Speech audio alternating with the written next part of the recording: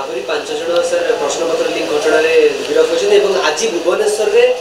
office ସାମ୍ନାରେ ସମସ୍ତେ ଧାରଣା ଦେଇଛନ୍ତି ସାର୍ କ'ଣ କହିପାରିବେ ନିଶ୍ଚିତ ଭାବରେ ଦେଖନ୍ତୁ ଏଇସବୁ ରିକ୍ରୁଟମେଣ୍ଟରେ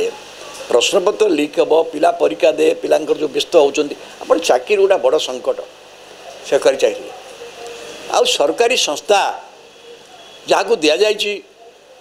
ରିକ୍ରୁଟମେଣ୍ଟ କଣ୍ଡକ୍ଟ କରିବା ପାଇଁ